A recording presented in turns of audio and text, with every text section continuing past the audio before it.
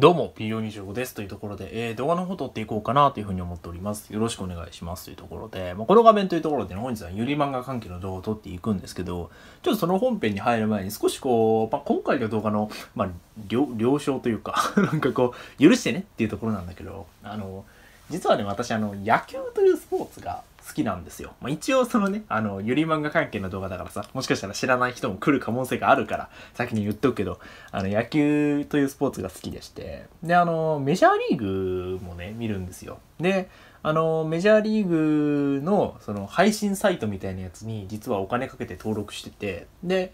その配信サイトって試合をライブ配信するのはもちろんのことあのまあまあライブ配信だとさどうしても時差とかの関係で、まあ、深夜だったりして見れないからじゃん。だからあのアーカイブも実は配信してて、うん、であのー、毎回私その応援してる球団の試合アーカイブで見るんですけど今日ちょっとね予定がこの後ありましてあの試合見てる時間がないんですよ、ね、だからあのー、今日はアーカイブ見なくていいかなって思ったんです。あのー、まあそう思ったんでね。であのー、そう思ってさ結果を知ろうと思ってツイッター見てたんですよ。あのやっぱツイッターってその速報が野球流れたり来たりするんで結果の速報が流れてきてて。で今日の結果ちょっと見たらめちゃめちゃ面白そうな試合で。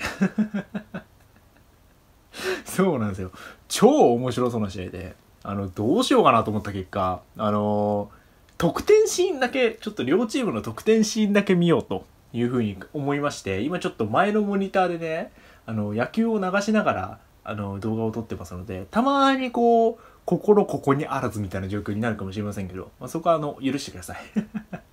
お願いします、まあ、というところで、えー、早速動画の方入っていこうかなというふうに思うんですが今回ね別にそのゆり漫画関係の動画なんですけどその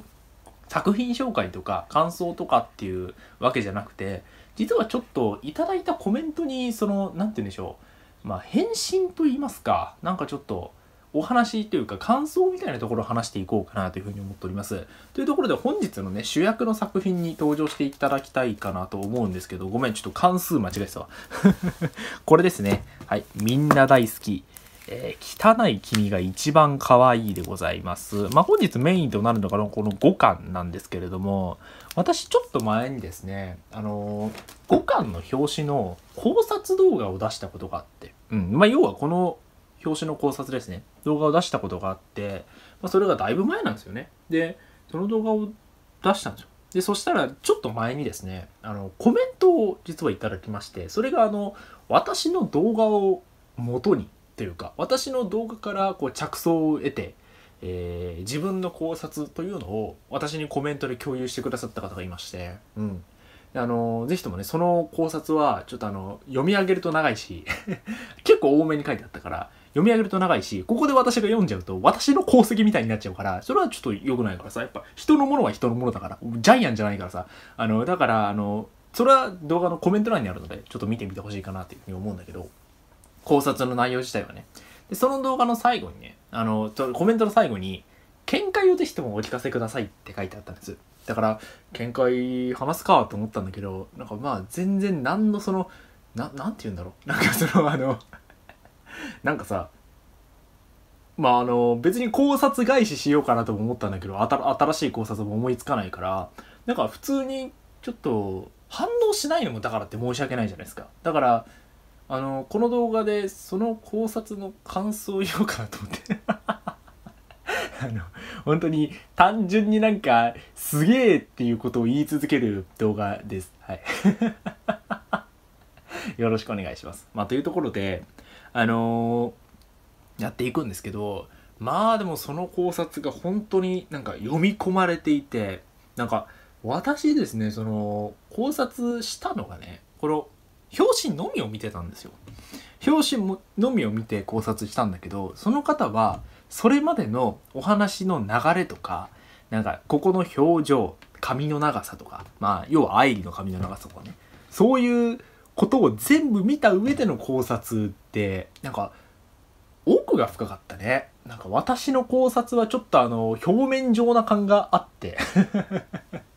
まあもちろん自分であれ全力だし正直自分の中でまあ間違ってないと間違ってないっていうかまあ考察がその今回にそのいただいた考察もそうだし、私の考察もそうだしさ、あの、考察に対して、これは合ってると思いますとかっていうのは、無責任というか これ私知らんので 正解はね。だから、一概、なんかその、そういう無責任なことは言いたくないからあれだけどさ、まあ、ただその、非常に奥が深い考察だなって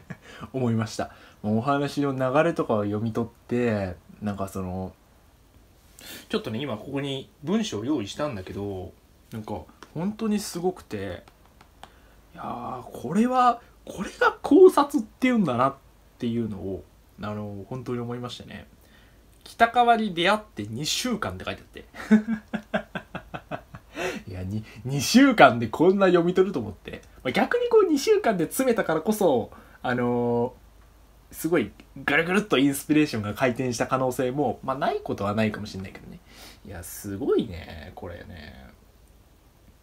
本当にすごくてその結局は愛理の理想とか愛理の考えていた理想ひなの考えた理想の会議とかあとはそれに対してどういう振る舞いをしてきて結局最終的にどういうシーンにつながって時系列がどうとかっていう話が書いてあるんだけどすごいからみんなマジでちょっと読んでみてほしくて。いや本当に。あのー、もちろん何て言うんだろうその私はあんまりさその自分のことを下に下げないというかなんか自分なんてってあんま言わないようにしてて。うん。いや嫌だから。多分自分すごいと思ってあの考察とかでまたしてるからね。当たり前じゃんお前 それはあるからあのー、まあまあまあまああれなんだけど私の考察もねよくできたもんだと思ってるよ。ただ奥が深かったね今回は。いやなんか私の考察が50だとしたらこの考察150ぐらいあったなっていうぐらいなんですけど。まあただ本当にこういいもの見せてもらったなって。ただで繋いだのおかしいね。接続詞ただで繋いだのすごいおかしいけどいいもん見せてもらったなと思いましたね。うん。私も一応対抗してねいろいろ考えたの。例えばあのー、一つ思いついたのがさあの「ウォームサマー死後の世界説」だったんだけどさよく読み返したらさ普通にお父さん出てくるし。あっちげって思って。そうなんだよ。だからまああのー、それも含めて。私今回はひろ私が非常にこう知識を得させてもらったなというかこう考え方を新しく入れさせてもらったなというような、えー、動画でございました。本当にその考察まあ素晴らしかったですって言うとすごい上からかんな感じになっちゃうからあれだけど何て言うんだ？本当にか感心したもおかしいね。感動しました。うん。まあ、全ての答えはマニオ先生のみぞ知るですからね。まあ、我々はどうすることもできないんですけれども。というところでありがとうございました。えー、チャンネル登録の方もお待ちしてますんでよろしくお願いします。バイバイ。